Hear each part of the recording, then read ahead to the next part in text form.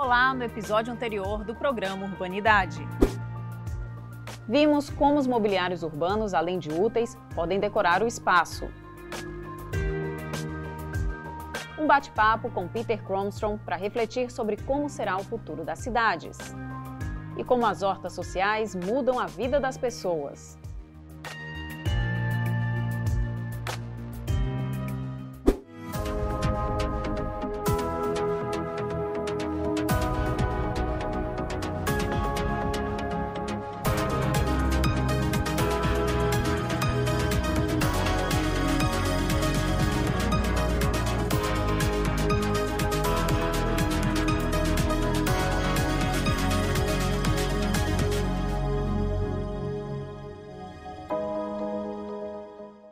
Antigamente a praça era ponto de encontro, não tinha shopping center. Queria encontrar alguém fora de casa, era só ir para a praça. Com o tempo isso mudou, mas ela, a praça, continua com seu charme.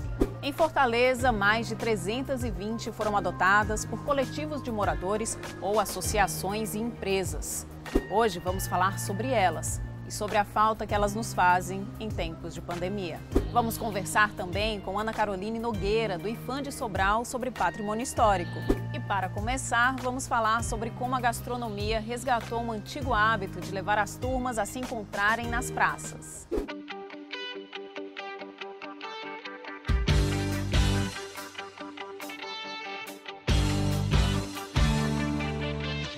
Na rua vai muito além do que pagar mais barato pela refeição. Tem aquele momento que a gente ama de convívio social, experiências diferenciadas.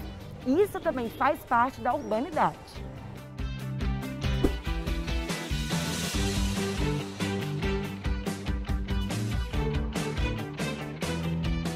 André, o que, que te atrai na comida de rua, assim, na gastronomia de rua? O que, que você mais gosta? Bom, eu gosto da diversidade, porque quando você tem várias opções, acaba que sendo mais interessante. Você vai para um local e você prova de, várias, de tudo um pouco, aí acaba que gostando. Fala um pouquinho pra gente desse momento de encontro que você tem com seus irmãos, enfim, aqui. Sim, a gente sempre se encontra com a família e é bom porque a gente traz cachorro para passear, a gente traz as crianças para se divertir. É um local bastante espaçoso. É, e esse momento para mim acaba sendo um momento de encontrar a família, de encontrar os amigos, de passear com as crianças. E é isso. Dona Celene, a senhora já é uma veterana das pracinhas, da culinária de rua, da gastronomia de rua. A senhora tem quantos anos aqui nessa pracinha? Nessa aqui eu tenho uns 5 anos. Diferente, assim? Qual é o gostinho de trabalhar na rua? Gostoso lidar com o público, pessoas maravilhosas, os clientes são pessoas que a gente conquista cada dia. A gente já tem uma, eu tenho uma clientela boa e cada cliente também vai chegando, vai gostando do tempero, da comida, uma comida caseira. E come uma vez e gosta e volta sempre. Então, quem não é cliente, vira cliente. É, volta a ser cliente. É, comer a minha comida é cliente. Costuma ser cliente. Nós vamos conversar agora com a Eveline de Alencar. Ela é professora de gastronomia da UFC. Ela que fez, inclusive, um livro de gastronomia de rua, não é isso, Eveline? O livro chama-se Fortaleza da Gastronomia de Rua e ele foi é, uma parceria que nós fizemos com o Centro Cultural Bom Jardim. É, eu coordeno um programa de extensão chamado Gastronomia Social e dentro desse programa de extensão nós temos um curso chamado Gastronomia de Rua. E esse livro nasceu a partir desse curso. Tá? Então é um, um livro que tem várias mãos, foi escrito por várias pessoas e eu tive o prazer de coordená-lo. Eveline, como você acha que a gastronomia de rua ela pode impactar na vida das pessoas? Muito, né? Principalmente econômico, né? A gastronomia de rua, ela está viva na cultura do fortalezense, né? Nós temos vários espaços hoje que vivenciamos essa gastronomia de rua, tá? Então, ela é um meio de trabalho de muitas pessoas, tá? Uma forma das pessoas terem o seu ganho-pão através da gastronomia de rua e também influencia por conta da convivência, né? Que as pessoas vão ter essa oportunidade de se deliciar com a gastronomia de rua.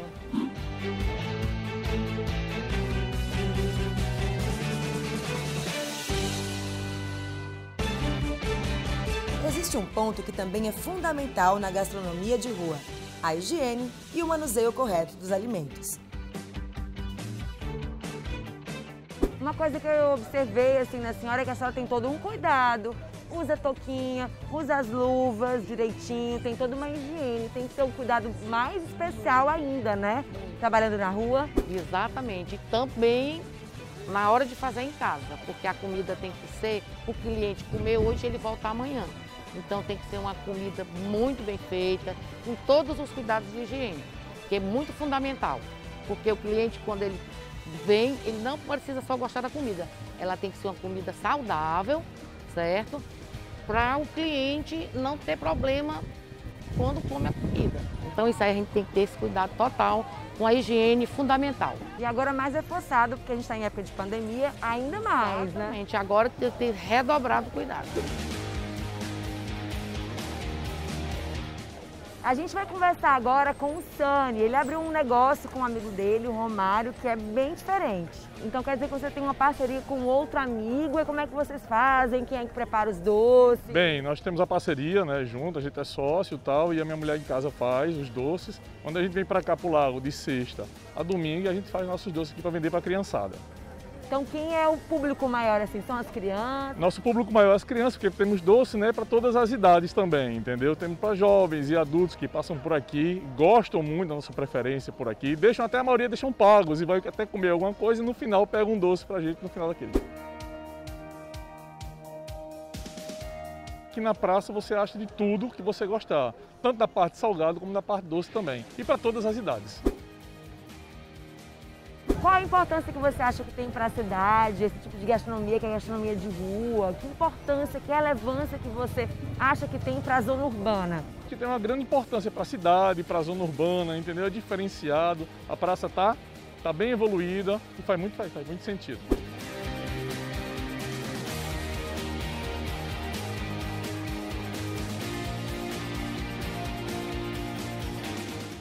Comum a gente ouvir que determinado prédio foi tombado pelo IFAM. Esse mecanismo que busca proteger o nosso patrimônio histórico e artístico. Para entender um pouco mais sobre esse instituto que tem mais de 80 anos, o programa Urbanidade conversou com Ana Caroline Nogueira, do IFAM da cidade de Sobral. Nós vamos começar agora com a Ana Caroline Nogueira. Ela é chefe do escritório técnico de Sobral do IFAM no Ceará. Tudo bem, Caroline? Tudo bem com você? Tudo bem também. Explica pra gente o que é o IFAM e como ele atua. O IFAM ele é uma autarquia federal que está vinculada ao Ministério do Turismo e ele atua com a promoção e a proteção dos bens culturais nacionais. Patrimônios históricos, né? Isso. O patrimônio histórico ele está dentro de toda a gama do patrimônio cultural. O patrimônio cultural ele pode ser móvel, imóvel ou natural, assim como o arqueológico.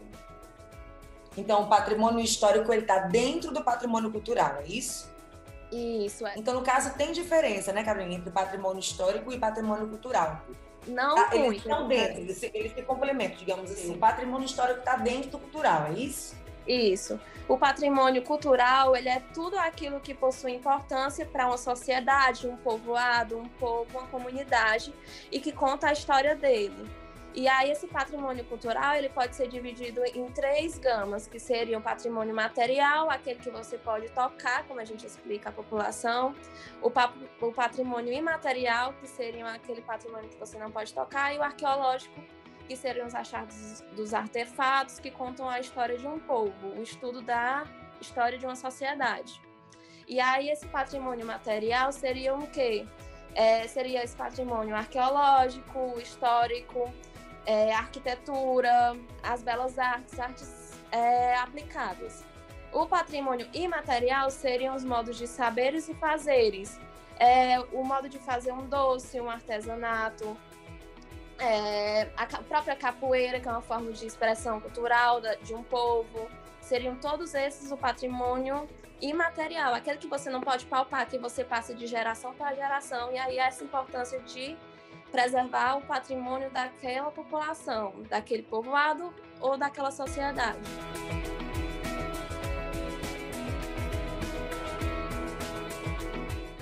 Eu sei que você explicou agora, né, os que a gente pode tocar, digamos assim, os que a gente não pode, né, que tem os históricos, enfim, você explicou. Mas como preservar esse patrimônio, digamos assim, eu como cidadã, como é que eu posso ajudar a dar continuidade a isso, a preservar, seja ele palpável, né, ou não? Essa é uma forma didática de ensinar o povo o que seria a diferença entre o patrimônio material e o imaterial. E a forma de preservar eles seriam justamente através, às vezes, do, de uma forma da aplicação da lei, que seriam os tombamentos, que aí você tem uma categoria de, de é, preservação, de conservar aquele bem para que ele permaneça por várias gerações, é, sejam elas nesse presente ou as gerações futuras. E aí, no caso do patrimônio é, material, no caso de arquitetura e de outros bens, artefatos, seria o quê? A preservação e conservação daquele bem, no caso de uma edificação, de não promover interferências que descaracterizem é, a visibilidade daquela arquitetura ou que danifiquem um tipo de artefato. Do patrimônio é, imaterial seria a inscrição desses saberes e fazeres de forma que você registre de alguma forma para que ele seja passado de geração para geração, assim como aquela sociedade passar aqueles ofícios para as novas gerações. E aí, com isso, não se perder aquele tipo de patrimônio imaterial, que seriam as festividades, é, o artesanato, uma forma de fazer um doce, no caso de Sobral, os farts, que são bastante conhecidos na cultura local, que seriam um doce português. O conjunto arquitetônico e urbanístico de Sobral, inclusive, foi, foi tombado em 1999, não é isso? Isso. Qual a importância que você acha que isso tem para Sobral, para gente no Ceará? No caso de Sobral, é, a solicitação do tombamento daquele centro histórico, no caso, sítio histórico de Sobral, foi dado justamente pela própria população. É, alguns imóveis haviam é, sendo descaracterizados e principalmente um imóvel que é bastante imponente na cidade estava sendo demolido e aí a, a própria população se moveu a fazer um baixo assinado solicitar no caso ao IFAM o tombamento federal daquela área. E aí hoje ele é tombado como um sítio histórico e urbano, ou seja, ele é tombado uma área que conta a história do crescimento urbano da cidade e assim também edificações que têm ainda manifestação é, preservados de uma arquitetura colonial, é, de arte nouveau, ecléticas e algumas arquiteturas vistas também originais assim de Sobral e que são históricas e se mantêm preservadas. É possível, Caroline, essa convivência assim, digamos, do antigo com o novo, eles conversarem entre si, assim? É totalmente possível, contanto que o que está surgindo agora, que seria o novo, ele seja executado e analisado previamente até pelo órgão, que no caso é o IFAM, contanto que ele não é, promova nenhum tipo de intervenção que se sobreponha à importância que tem daquele bem que é histórico, que está próximo, talvez, àquela edificação que vai ser construída e que seja nova. E existem vários projetos. Né? Ele não pode interferir, é, né? Tem que conviver. Isso, tem que conviver. Você não pode interferir de forma que tira a importância daquilo que é histórico para a cidade. Mas ele pode, é, pode sim existir naquele contexto, daquela ambiência do sítio histórico. Ok, Caroline, muito obrigada pelo papo com você, foi muito bom. Até a próxima, tá? Seja obrigada a você. Obrigada. Com a pandemia do novo coronavírus, as praças sentiram saudades da população. E nela, um grupo específico sente ainda mais e precisa se reinventar já que os principais palcos não podem ser utilizados por enquanto. Eu estou falando dos artistas do Teatro de Rua de Fortaleza. Eles conversaram com a gente sobre a importância desse tipo de teatro para a ocupação de espaços e para a cultura da cidade. E também sobre a reinvenção do fazer artístico sem ela. O teatro de rua tem um potencial transformador dos espaços urbanos. Provoca movimento, contato e reflexão eu converso agora com a Vanessa Gomes, que é atriz e pesquisadora de teatro, especialista, né? Vai falar para a gente o que é o teatro de rua. Um prazer estar aqui com você, Marina. Obrigada pelo convite. Bem, é... vamos lá para esse desafio de falar sobre o que é teatro de rua, né? Na verdade, é, existem vários teatros de rua. Então, não existe só uma forma de fazer teatro de rua. Teatro de rua é uma elaboração, né, que você pode fazer pesquisas, investigações estéticas, intervenções no espaço aberto, no espaço da cidade. Então, é, eu desenvolvo pesquisas nesse campo já há algum tempo, é, e no caso, junto ao Grupo Teatro de Caretas, que é o grupo que eu trabalho há 22 anos, mas antes disso também já trabalhava com ações de rua. E nesse caso, é, a investigação do teatro de rua é essa: é como você criar frestas poéticas na cidade, é, habitar a cidade, interromper fluxos e criar novas formas de olhar para a cidade. É, no caso do Teatro de Caretas, né, que existe desde 1998, né, vocês criaram esse grupo, é, ele tem uma relação muito forte com as manifestações tradicionais. Explica para a gente como é, é, essas manifestações e como elas se relacionam com a cidade. Bem, é, o Grupo Teatro Caretas ele foi criado em 98 é, por quatro pessoas, pela Samia Bittencourt, pelo Non Sobrinho, Galba Nogueira e eu, Vanécia. E nós criamos esse grupo quando nós trabalhávamos é, no teatro junto com Oswald Barroso, que é um pesquisador renomado aqui do Ceará, reconhecido no Brasil inteiro como um pesquisador atuante é, nesse campo da investigação da correlação entre as manifestações tradicionais populares e o teatro, a cena teatral. E nesse período a gente trabalhava já com ele. Eu comecei a trabalhar com o Oswald, no caso, em 92, eu já fazia as pesquisas e trabalhos de teatro. E quando o grupo surge, ele surge envolvido com essas questões relacionadas às, às referências das manifestações. Nós trabalhamos com outras pontuações também, né? Relacionadas à memória, à política, é, à performance, mas a investigação sobre as manifestações tradicionais, elas têm eco no nosso trabalho, porque nós reconhecemos os mestres e as mestras como é, fundadores e alimentadores de uma forma de fazer arte, que congrega a arte juntando diversas linguagens. Hoje a gente tem diversos avanços nesse pensamento de compreender que essas manifestações são é, retratos, recortes, mas que também é, são espaços de pesquisa performativo, então da arte mais atual, que é entender o que é a performance do corpo, da fala, da música, tudo isso a partir do corpo. Porque tem um elemento interessante dessas é, referências que a gente busca é a atuação do brincante, é o corpo desse ator, como é que ele se forma, é, dessa, desse ator e dessa atriz, como é que se forma, como é que aciona os elementos de presentificação.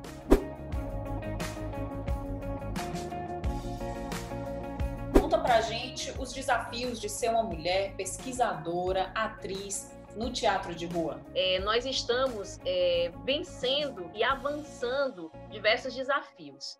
É, eu sempre trabalhei com teatro e trabalhei também, sempre trabalho como professora, como educadora, e é um desafio é, nós estarmos nos espaços de pensamento e nos, nos, espaços também que tem essa disputa de narrativa. Então, é, fazer teatro de rua é, é, também esse espaço, né? Então, assim, a gente entra na rua com os nossos corpos, né? Com a nossa pele, com o nosso cabelo e também com essa questão sobre ser mulher. É, já passei por diversos desafios que estão relacionados a isso, de por que, que tem uma mulher à frente de um grupo, é, cadê os homens que estão à frente desse grupo, né? Então tem, existem essas questões, mas a gente também está aí para avançar, para lutar e para também defender essa pauta e essa questão que tem a ver com a nossa vida. Então, é, o grupo tem uma maioria de mulheres, né? Que é a Vera Araújo, a Rebeca Lúcia, a Isabelle Teixeira, a Juliana, Juliana Santana. E tem também homens que estão junto com a gente, né? Que é o Num Sobrinho, Beto Menezes, assim como outras pessoas que colaboram com o teatro do Grupo Teatro de Careta. Como é que a montagem influencia na escolha dos espaços e até é, na possível participação do grupo, do, do público, na interação com o público? Perfeito. Muito boa essa pergunta, porque o espaço da rua ele faz exatamente isso que você fala, que é a aproximação. É, a rua é um espaço onde você não organiza quem vai ficar assistindo o seu espetáculo. Então as pessoas param se elas acharem interessante. É, elas estão passando como transeuntes e elas param, olham para você, assistem o espetáculo. A partir desse momento, elas são espectadores ou espectadoras. E dependendo da postura que elas tomam, elas podem estar participando. Então, pode ter essas três fases numa, como você enquanto público, né? Quando a gente pensa um espetáculo, é, a gente pensa que nós precisamos estar afetados para afetar as pessoas que vão estar ali naquele espaço urbano. E para o espaço da cidade, é, é, um espaço que é inóspito para o teatro. O espaço da rua ele não está esperando que chegue um espetáculo. Ele tem uma, uma consolidação.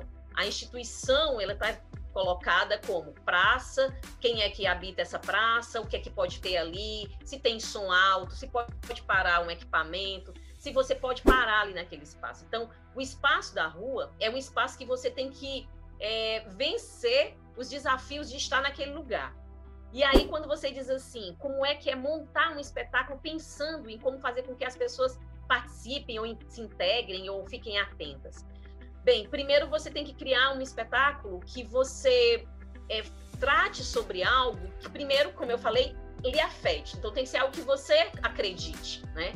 E também é, pensar sobre o que você vai mobilizar as pessoas. Então, é essa a lógica que a gente usa também. Então, a gente busca criar potências para os espaços da arte, para o que a gente mobiliza também, como artistas, então participando de políticas públicas, participando de movimentos populares, mas com esse sentido, de que a gente está aí com esse intuito também de se transformar, de nos melhorarmos como pessoas e como é, atuantes em sociedade também. Obrigada, viu, Vanessa? Tudo de bom aí para ti. Foi ótimo.